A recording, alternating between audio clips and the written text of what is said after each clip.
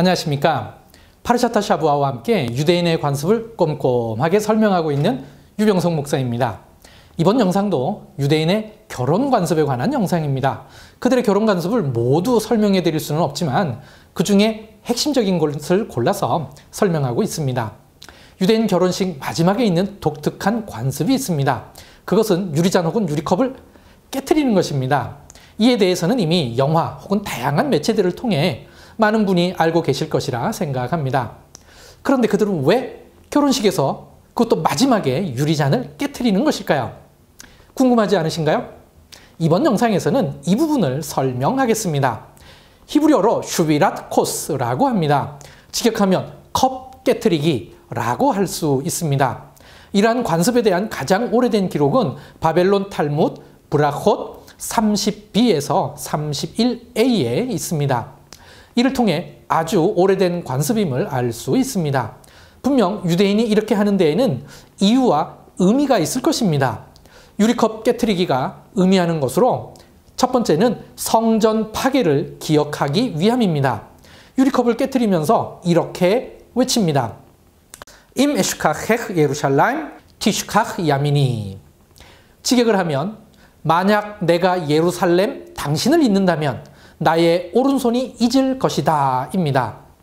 그런데 이 구절은 10편 137편 5절 말씀 그대로입니다. 한국어 성경에는 다음과 같이 번역되어 있습니다. 예루살렘아 내가 너를 잊을진데 내 오른손이 그의 재주를 잊을지로다. 훌륭한 번역이라 생각합니다. 이 외침을 통해 결혼식이 예루살렘 파괴, 좀 더 구체적으로 표현하면 성전 파괴를 기억하는 것입니다. 예루살렘이 파괴되고 디아스포라가 되어 멀리 흩어져 살고 있지만 하나님 백성으로서 가장 중요한 도성인 예루살렘을 절대로 잊지 않겠다는 표현입니다. 그래서 인생에서 가장 기쁘고 즐거운 날인 결혼식의 마지막을 이 구절을 외치면서 유리컵을 깨뜨리는 것입니다. 그래서 슈비라트 코스의 가장 중요한 의미는 성전 파괴를 잊지 않고 기억하겠다는 것입니다. 제 영상을 꾸준히 보고 계시는 분들은 이제 이해가 되셨을 것입니다. 왜 결혼식에 대한 설명을 성전 파괴일 즈음에 시작했는지 이제 아시겠죠? 오히려 유대인들은 성전 파괴일 이전 3주 동안은 결혼식을 하지 않습니다. 그럼에도 불구하고 결혼식과 가장 밀접하게 연관되어 있는 민족적 공동 기억은 성전 파괴입니다. 정말 아이러니하죠. 두 번째는 기쁨의 절제를 위한 경종입니다. 이는 10편 126편 2절과 연관이 있습니다. 그때에 우리 입에는 웃음이 가득하고 우리 혀에는 찬양이 찼었도다. 그때에 뭇나라 가운데서 말하기를 여호와께서 그들을 위하여 큰 일을 행하셨다 하였도다. 이는 포로에서 회복되어 시온 즉 예루살렘으로 돌아갈 때의 기쁨을 표현한 구절입니다. 이 구절에서 표현된 기쁨이 실제로 실현될 때까지는 기쁨을 절제해야 한다는 것입니다. 예루살렘으로의 귀환이 온전히 이루어질 때까지는 아무리 기뻐도 온전한 기쁨이 아니라는 것입니다. 그래서 결혼식이라고 해서 마냥 기쁨을 누리는 것이 아니라 절제된 기쁨을 누리게끔 하는 경종으로 유리컵을 깨뜨리는 것입니다. 유리컵을 깨뜨리는 게 경종이 될 수 있을까요? 네, 있습니다. 서두에서 말씀드렸듯이 바벨론 탈무드에 결혼식의 유리컵 깨기가 언급되어 있다고 했습니다. 내용은 이렇습니다. 어느 랍비가 자기 아들 결혼식에 온 모든 손님이 너무 즐겁고 흥에 겨워 있는 것을 보고 시편 126편 2절 말씀이 떠올라 이 분위기를 반전시키기 위해 유리컵을 깨뜨렸다고 합니다.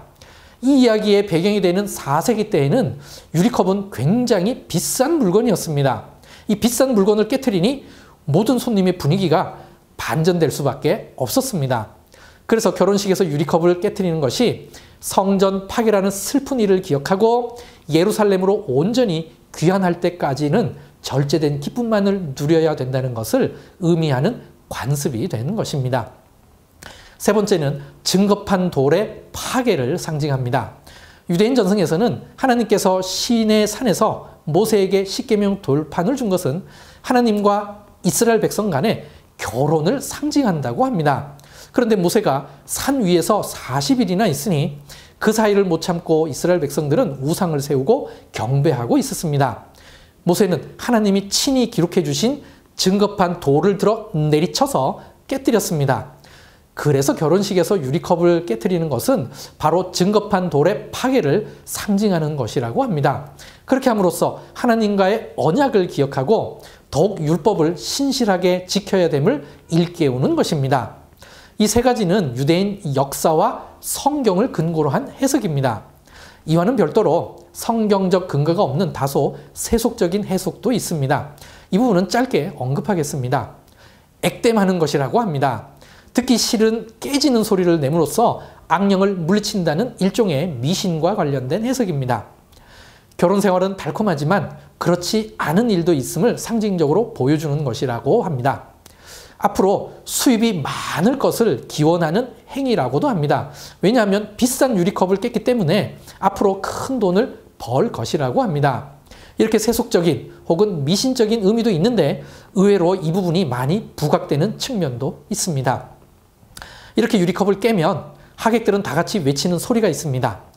아시케나짐과 스파라딤은 서로 조금 다르게 외칩니다. 먼저 아시케나짐은 마잘토라고 외칩니다. 해석하자면 좋은 별자리라는 뜻인데 행운과 좋은 운명을 기린다는 의미입니다. 스파라딤은 시만토라고 외칩니다. 뜻은 좋은 징조인데 이도 마찬가지로 행운과 좋은 운명을 기린다는 의미입니다.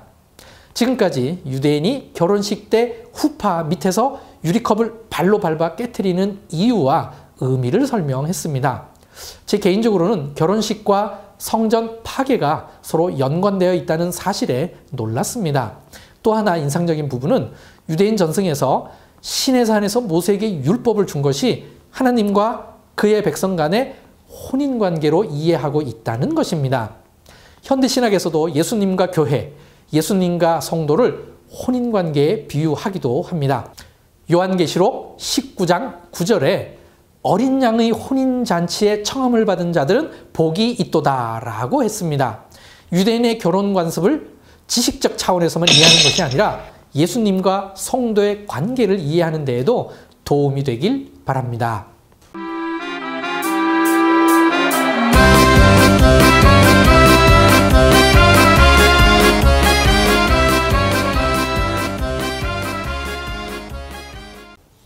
이번 주는 46번째 파르샤타 샤브와 에케부를 읽는 주간입니다. 본문은 신명기 7장 12절에서 11장 25절까지입니다. 제목 에케부는 한국어 성경에는 행하면의 면으로 번역되어 있습니다. 실제 뜻은 만약 무엇 무엇을 하면 혹은 무엇 무엇 때문에입니다. 에케부의 주요 내용은 하나님의 법도를 지키면 너희가 차지할 땅은 여호와께 불순종한 사건, 모세가 십계명을 다시 받다. 여호와를 섬기라입니다. 신명기 9장 9절에 40주 40야를 산에 머물며라고 되어 있는데 이를 통해 모세가 신의 산에서 40일을 머물렀음을 알 수 있습니다. 신명기 9장 9절 그때에 내가 돌판을 곧 여호와께서 너희와 세우신 언약의 돌판들을 받으려고 산에 올라가서 40주 40야를 산에 머물며 떡도 먹지 아니하고 물도 마시지 아니하였더니 그런데 흥미로운 질문을 하나 해보겠습니다. 모세는 신의 산에 머물면서 율법을 받을 때 앉아 있었을까요? 아니면 서 있었을까요? 이 질문은 한국어로 성경을 읽을 땐 생뚱맞은 질문일 수 있지만 히브리어로 읽으면 상황이 조금 다릅니다. 신명기 10장 10절도 읽겠습니다. 내가 처음과 같이 40주 40야를 산에 머물렀고 그때에도 여호와께서 내 말을 들으사 너를 참아 멸하지 아니하시고 한국말에는 두 구절 다 머물며 머물렀고 라고 되어 있어서 마치 같은 단어 같은데 실제 히브리어는 다른 동사가 사용되었습니다. 신명기 9장 9절에는 에셰브라는 동사로 기본형은 야샤부라는 단어입니다. 뜻은 안따입니다. 신명기 10장 10절은 아마드티라는 동사인데 기본형은 아마드입니다. 뜻은 서 있다입니다. 그래서 이런 흥미로운 질문이 제기된 것입니다. 과연 모세는 앉아 있었을까요? 서 있었을까요?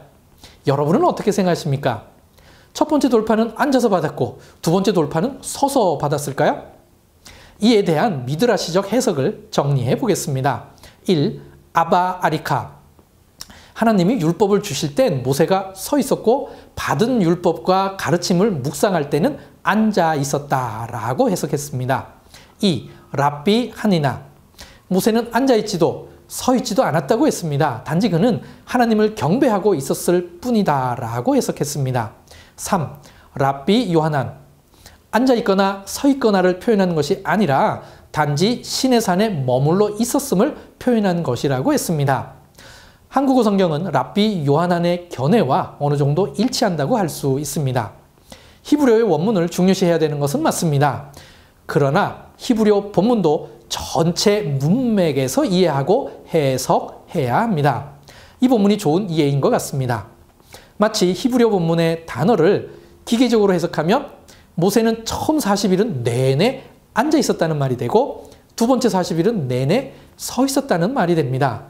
그렇게 해석해서는 오히려 본문의 참뜻을 놓치게 될 것입니다. 그래서 제 개인적으로는 위의 해석 중 두 번째와 세 번째를 절충한 해석이 바람직한 해석으로 보입니다.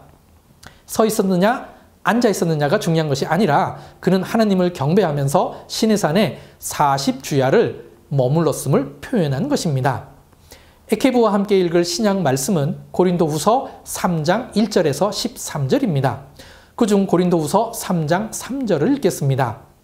너희는 우리로 말미암아 나타난 그리스도의 편지니 이는 먹으로 쓴 것이 아니요 오직 살아계신 하나님의 영으로 쓴 것이며 또 돌판에 쓴 것이 아니요 오직 육의 마음판에 쓴 것이라. 그렇습니다. 모세가 받은 돌판은 깨어지기도 하는 돌판이었습니다. 하지만 우리의 마음판에 쓴 것이라면 결코 깨어지지 않을 것입니다. 유대인은 결혼식조차도 예루살렘을 기억하고 예루살렘으로 돌아갈 것을 기약하며 소망하는 기회로 삼았습니다. 우리는 하나님의 나라를 기억하고 그 나라로 돌아갈 것을 기약하며 살아야 할 것입니다. 그래서 우리를 그리스도의 편지라고 한 것입니다. 이 편지는 먹으로나 돌판에 기록된 것이 아니라 우리의 마음판에 기록된 것입니다. 이번 한 주간 하나님의 나라에 대한 우리의 소망을 마음판에 바로 새기길 노력하는 저와 여러분 되시길 바랍니다. 감사합니다.